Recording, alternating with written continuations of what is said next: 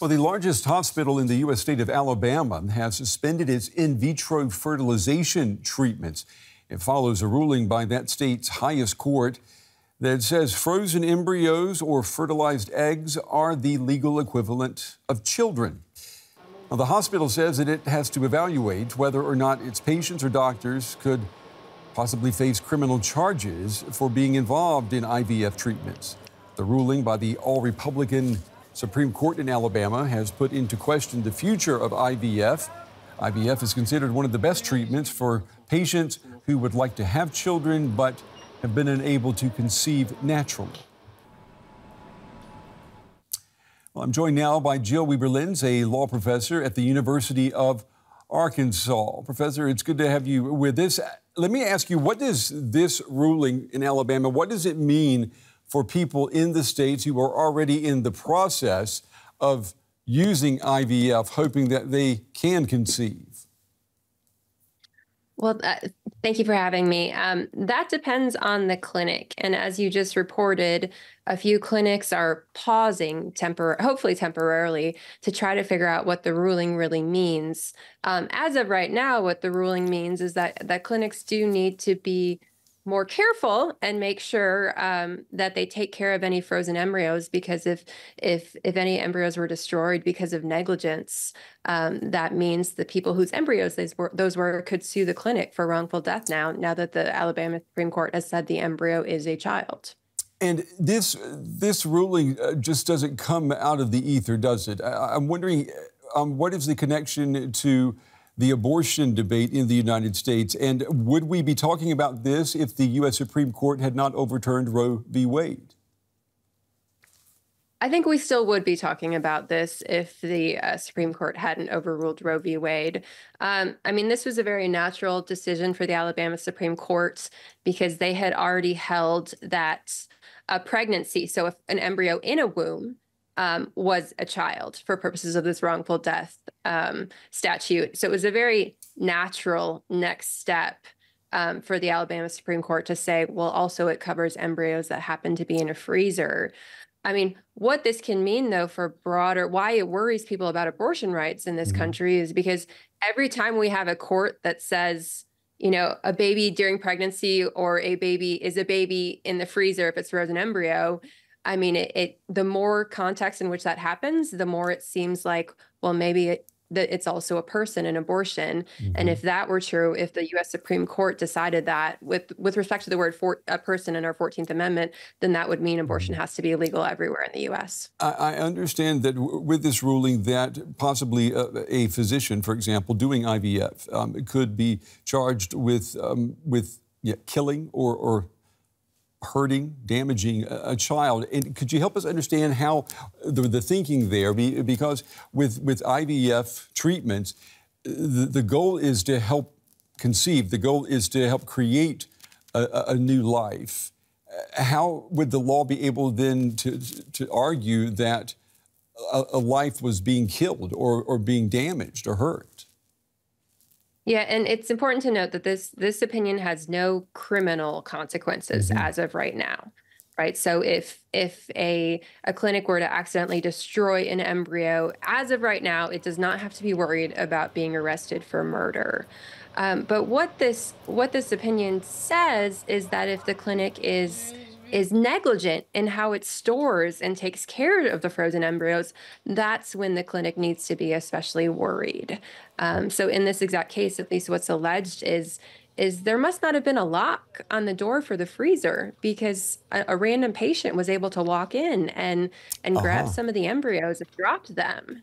Um, you know, this has bigger ramifications too, though, because in the US, we do have a lot of embryos in freezers because we take a lot of eggs out at a time. Mm-hmm. Um, so, and every time, anytime you have eggs in a freezer, you better make sure to be careful with them because otherwise, under this opinion, well, if if you destroy those those embryos, you can get sued for the death of children. Well, well, could, well, could this then be a wake up call uh, not only for Alabama but for maybe the entire IVF um, industry uh, around the world that um, yeah, maybe there is a, a tendency or it's possible for healthcare professionals to become nonchalant about the fact that frozen embryos are just that frozen embryos. Yes, and and we don't have a lot of regulation of fertility clinics here in the U.S. Um, so you know, there's no state or federal laws mandating any precautions to make sure these embryos are okay. Um, so yes, maybe this this uh, possibility of this lawsuit for the wrongful death of children um, would make clinics think more about security.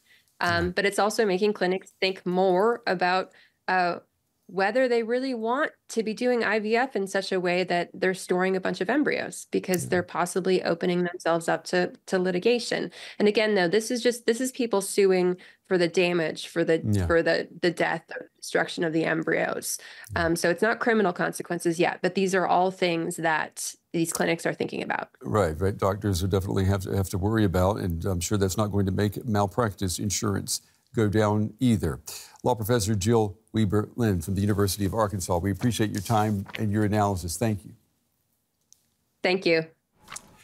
Well, for more now, I'm joined by Professor Glenn Cohen of the Harvard Law School. He's a leading expert on medical ethics. Professor, it's good to have you with us. Um, let me just start by asking you what does this ruling mean for people who are in Alabama and are already in the process of receiving IVF treatments? Yes, so the case was about uh, the Alabama wrongful death of a minor statute. The case arose out of uh, destruction of embryos by malfeasance, uh, allegedly by the bank. So, uh, the, as you noted, one of the largest providers in Alabama has announced that they're going to suspend IVF.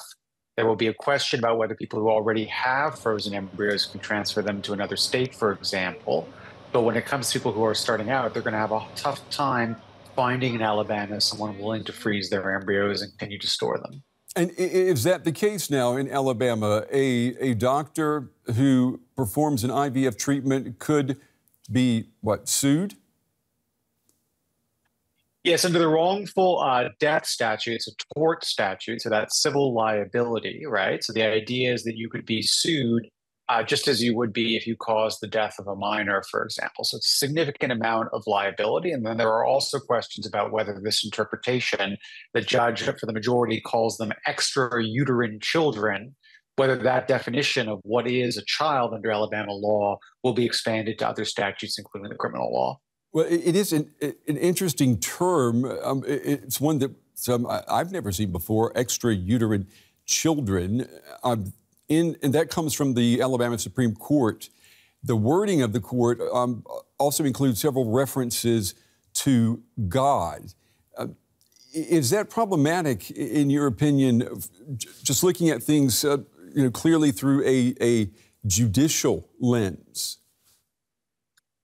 Here's what I'll say, and this was in Chief Justice Parker's concurrence. He talks about the idea that it would be an affront to himself, capital H for God, this idea that the wrath of God uh, might befall people. It's highly unusual to see this kind of language. His claim is that Alabama, by several statutes, has passed a constitutional amendment, has indicated that this is the view of the people of Alabama. But I can say, if you're not a member of a Judeo Christian uh, religion, it would seem quite an unusual thing to be told this is the law of Alabama, that God is a part of that law.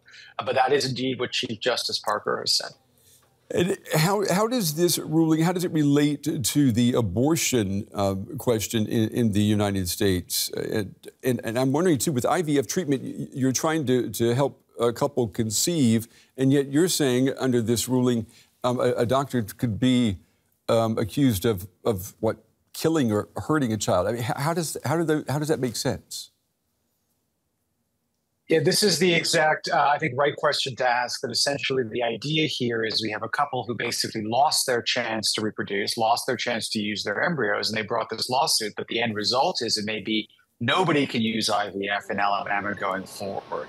In terms of abortion politics, this case can be seen as part of a larger movement, which is called the personhood movement.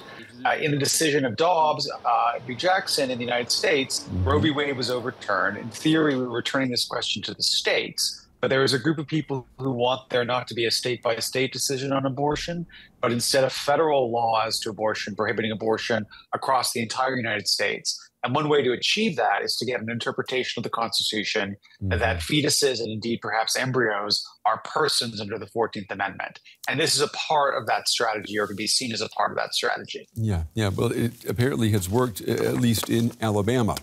Glenn Cohen with Harvard Law, we appreciate your time and your analysis tonight. Thank you.